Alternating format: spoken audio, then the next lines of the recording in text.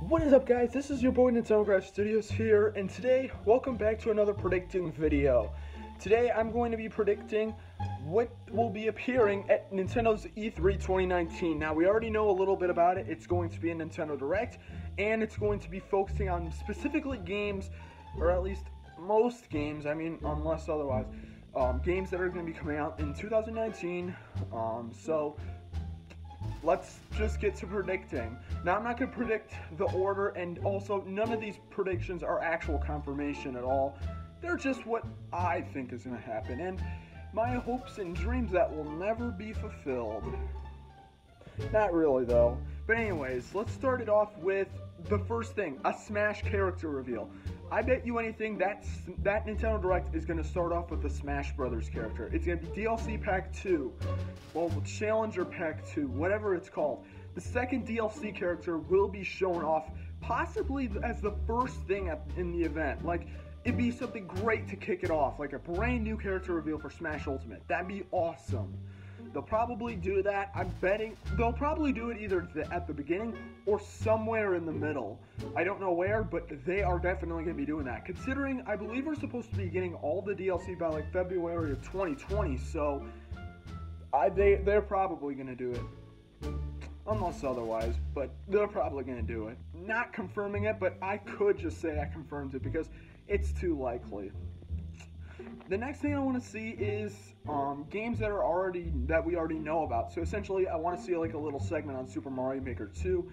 Probably not a lot because we already know a lot about Super Mario Maker 2. Some people actually got to play it like hands-on like preview of the game, like they got to play it. Um, some of them I don't know when. I think earlier this week, and we also had the Nintendo Direct. We've had so many trailers and all that stuff. I want to see a little bit more minimal Mario. Like, I want it to show up, but I want it to kind of be a little bit less. Like, I want it to be like a two minute video or something like that. Just giving us some more information, reminding us of the release date, and maybe even something new. I don't want a lot of information out because we already know a, bunch, a, a lot about that. Um, and for Fire Emblem Three Houses, same exact thing. I want just some min minimal information. I don't. I'm not. Not that I really care a whole lot about it because I'm probably not gonna pick Fire, uh, Fire Emblem Three Houses up. I'm not that type of guy. I'm not that type of person. Um, I'm gonna guess that, like, again, though, Fire Emblem Three Houses, we already know so much about the game. I think we should probably just get, like, a two-minute preview or something like that. That That's good. Like, introduce something new, whatever. Um, but then we get into Luigi's Mansion 3 and Animal Crossing. These two games, I bet you anything, I, we need to see a lot of information about these two games because these two games are inevitably the most important. Um, they probably could, like, they, I'm not sure how much time they'll dedicate. They'll probably dedicate a lot more time to Animal Crossing due to um, how many how like the amount of people who want to see it. Like I love Luigi's Mansion 3, but it's like I bet Animal Crossing is gonna have a longer segment. We're gonna still see Luigi's Mansion 3. We'll probably get a release date. We'll probably learn a lot more about the game. Maybe even they'll even have a demo or something like that at E3. They'll give us a release date. And for Animal Crossing, they're gonna give us like a big blowout of info. They're gonna show us how the game looks, how the gameplay is, what's changed from New Leaf to this game, and a potential release date of sometime in the fourth quarter of this year. It's definitely not going to be early this year. That's kind of what I'm expecting. I'm, and I'm thinking that Animal Crossing is going to take around maybe five minutes or so. I don't know. It's going to probably be like maybe in the middle or maybe at the end, potentially, if Nintendo's not going to reveal a new game. So there's that. Um, and oh yeah, Pokemon Sword and Shield. Oh, I forgot to mention that. None of this was scripted. But with Pokemon Sword and Shield, I, again, just like Fire Emblem Three Houses and Mario Maker 2, I want minimal information. Maybe more on Pokemon Sword and Shield since we don't know as much about those games as like Mario Maker 2 or Fire Emblem. I want to see some, I want to still see it. It's going to probably show up just like how Let's Go did in the E3 2018 Direct.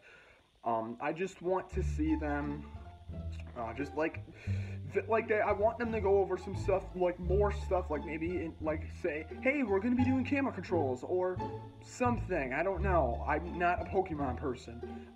I'm probably gonna pick the game up. I don't know which one I'll pick up, but I'm definitely gonna get at least one of them because that game actually looks really good.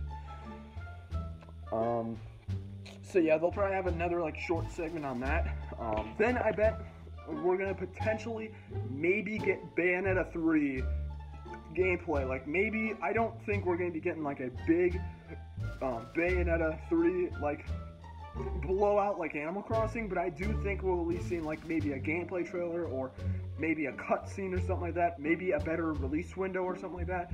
We may see that. I'm not entirely sure, but I don't know. Um, and those are all, I believe, all the games that we know are coming this year. If I missed one, let me know in the comments because I, knowing me, I probably forgot. Um, so those are essentially like I, what I believe is going to be shown off at the event. Like in terms of like the first party titles, we're probably going to see like a section to, like to like for the indie developers and stuff like that because like in like there's a bunch of indie developers on Switch. Like they could potentially highlight on more of those games.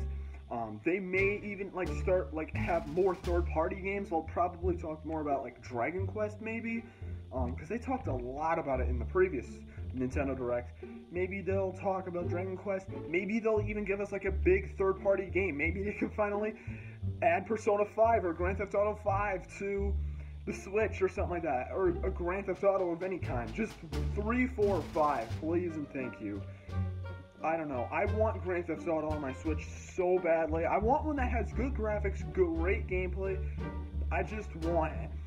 So that's kind of what I'm expecting from third party. Either Persona 5 or it's going to just be Grand Theft Auto. Um, well, actually, those are my uh, personal wants, so probably will not happen.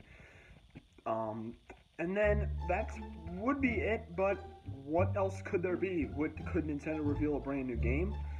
Well, I'm not sure because they did say they were going to focus on games for this year. Now, but again, they could be trolling. They could just be saying that, and they'll just give us a new game.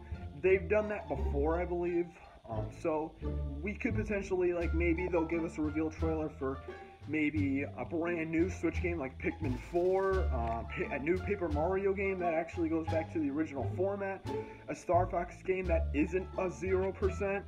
Um, maybe they'll, or maybe they'll just like makes add like announce like a sequel or something like that to Super Mario Odyssey or Breath of the Wild or something like that. Or heck, maybe even like giving us like a Mario, like giving us a DLC pack for Mario Kart 8 Deluxe. I don't think that's gonna happen at all. That at least that latter one, but man can dream. So that is essentially what I predict um, E3 2019 is going to be for Nintendo, not Microsoft or Sony. Honestly, though, I don't even think Sony's going to be at E3. So, um, yeah, those are my predictions. Now, again, don't take this super seriously. This is what I would like to see at E3 2019, alright? Please do it, Nintendo. Get your fans happy. So, yeah, that's pretty much it for the video. Uh, thanks for watching and like and subscribe. And You're probably wondering why I'm just wandering around in circles with, like, the camera on me, and it's because I just realized I have work to do this weekend. Even though I'm going to be out of town for a little bit. Oh well, I I can at least do this and the DDLC mod. But anyways, I'll see you guys in the next video. Peace out. Take care.